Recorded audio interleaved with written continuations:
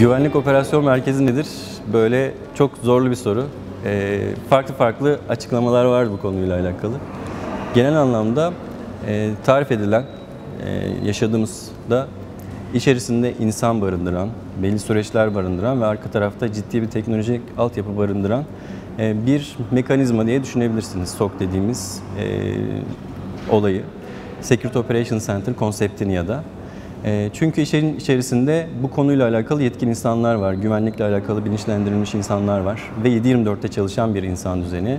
E, süreçler belli süreçlere göre yürütülmesi gerekiyor e, tüm olayların. Çünkü SOC dediğimiz şey bir BT güvenlik olay yönetimi yaklaşımı. Arka tarafta da e, birçok güvenlik teknoloji katmanını barındırıyor. Sadece güvenlik de değil aslında teknoloji katmanı diyelim. Security Information and Event Management temelinde olacak şekilde ama birçok diğer kaynaktan da beslenen komple bir konsept olarak düşünebiliriz Security Operations Center.